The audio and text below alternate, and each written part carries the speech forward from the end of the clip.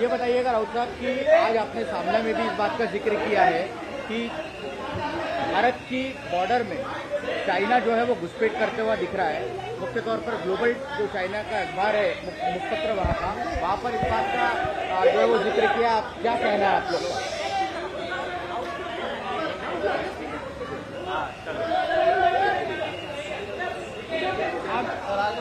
तो वो-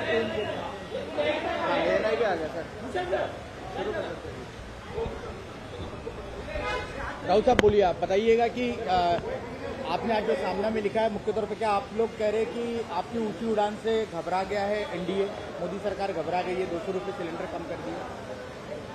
जैसी जैसी हमारी इंडिया की एक्शन और कार्रवाई और बैठकें बढ़ती जाएगी वैसे वैसे देश में महँगाई कम हो जाएगी दर की वजह से। जिस तरह से जनता का समर्थन हमें मिल रहा है, ये पहली बात। दूसरी बात, भारतीय जनता पार्टी और उनके पूरे अलायंस में घबराहट हो गई है। 2024 में हम इंडिया जीतने जा रही है। अब इंडिया को हराना मुश्किल ही नहीं, नामुमकिन है।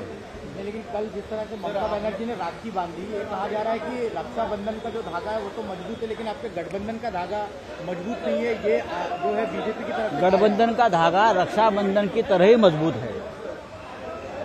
हम सभी एक दूसरे के साथ ऐसे रिश्ते से बांधे हैं।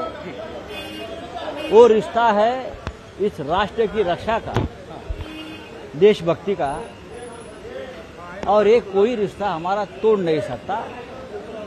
हमारे में कोई मतभेद नहीं है, मनभेद नहीं है और किसी प्रकार के भेद नहीं है। आज आपने देखा होगा, पूरी तैयारी मुंबई में हो रही है हो चुकी है। डेलीगेट्स का आना शुरू हुआ है कल रात से। आज शाम को बैठक की शुरुआत होगी, कल तक चलेगी। और देश के सामने एक बहुत बड़ा एक एक्शन प्लान लेकर हम जाएँगे। आखिरी सवाल की संयोजक पर बात बनेगी क्या? क्या शरद पवार साहब भी वन ऑफ़ दी नाम है? एक क्या उनका नाम भी सामने आ जो बात हम चार दीवारों में करना चाहते हैं वो हम मीडिया के सामने नहीं करेंगे ये हमारा पहला नियम है। एक इंटरनेशनल अखबार में इंटरनेशनल अखबार में खबर छपी है अडानी के खिलाफ सबूत थे। जो एजेंडा सामने आया है कि जिसमें लोगों का पहले तो अनावरण होगा उसके बाद इंडिया के स्ट्रक्चर में कई सारी कमेटियाँ बनाई जाएगी। मैंने आपको कहा कि जो बात हमारी चार दीवारों में हमारे बैठक में होने वाली है उस बारे में मैं बाहर आकर बात नहीं करूँगा। लेकिन मैंने कहा कि जिस तरह से इंडिया आगे चल रही है हमारा अलायंस वैसे वैसे बॉर्डर में चाइना जो घुस गया है ना वो भी पीछे हटेगा हमारी ताकत देख देख कर देख लीजिए। जैसे जैसे आप लोग की ओर से बैठक रखी गई है तो दूसरी तरफ़ से भी बैठक रखी जाती है। राउत साहब राउत साहब राउत साहब हिंदी में पहले कर लेते हैं। त्यांनी त्यांनी वर्षावर बैठक घेऊ द्या। किंवा चांद्रयान तीन खाली बोलवून त्यातून वर जाऊन वर बैठक घेऊ द्या। मी सांगितलंय ना इंडिया अलायन्सचा पराभव करणं आता कोणाच्या बापाला शक्य नाही. आम्ही एक आहोत आणि एकत्र राहणार. राउत साहब हिंदी में यही जानना चाहेंगे आपकी जब बैठक है तभी एक बैठक जो सत्ता है उनकी ओर से ली गई है और जैसा आपने आज शाम को डिनर रखा है तो वो भी डिनर रख रहे हैं। देखिए देखिए ये अपने आप को हमारे सामने बहुत बौना मानते हैं।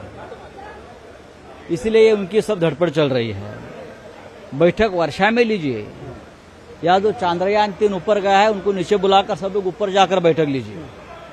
कोई फ़र्क नहीं पड़ता। मैंने पहले भी कहा कि अब इंडिया अलायंस को हराना मुश्किल ही नहीं, नामुमकिन है। कांग्रेस और कांग्रेस और आम आदमी पार्टी के बीच काफ़ी कश्मकश सुनने को मिल रही है और काफ़ी जो पोस्टर वॉर्स भी हमें देखने को मिल रहे हैं देखिए ये कोई पोस्टर वार नहीं है। नेताओं में कोई वार नहीं है। क्या अरविंद केजरीवाल और राहुल गांधी एक दूसरे की लीडरशिप स्वीकार कर पाएँगे? देखिए राहुल गांधी इस देश के अनडिस्प्यूटेड नेता है। तो क्या वो मेन राहुल गांधी राहुल गांधी इस देश के एक निर्विवाद अनडिस्प्यूटेड नेता है। लोगों ने उनको अपना नेता माना है। और हम सब चाहते हैं कि राहुल गांधी जिस तरह से पूरे देश में एक माहौल बनाने जा रहे हैं, भारत जोड़ो यात्रा ये सबसे महत्वपूर्ण उनका पड़ाव रहा। वापस राहुल जी की यात्रा शुरू होने की बात मैं सुन रहा हूँ। राहुल जी से लोग प्यार करते हैं। राहुल जी के लीडरशिप में देश काम करना चाहता है। लेकिन हम सब जब एक साथ बैठते हैं तो सिर्फ़ हम चर्चा करते हैं और एक दूसरे के साथ जो मतभेद है, हम उसको खत्म कर लेते हैं।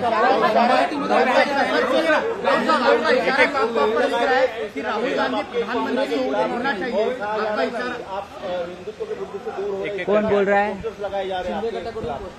ये उनके मन की जलन है। जलन है, जलता है शिवसेना ने अपनी भूमिका से कभी पीछे हटने की बात नहीं की है। ये राष्ट्र एक है, देश एक है, और इस देश में सभी लोग वही सम्मान से रहेंगे।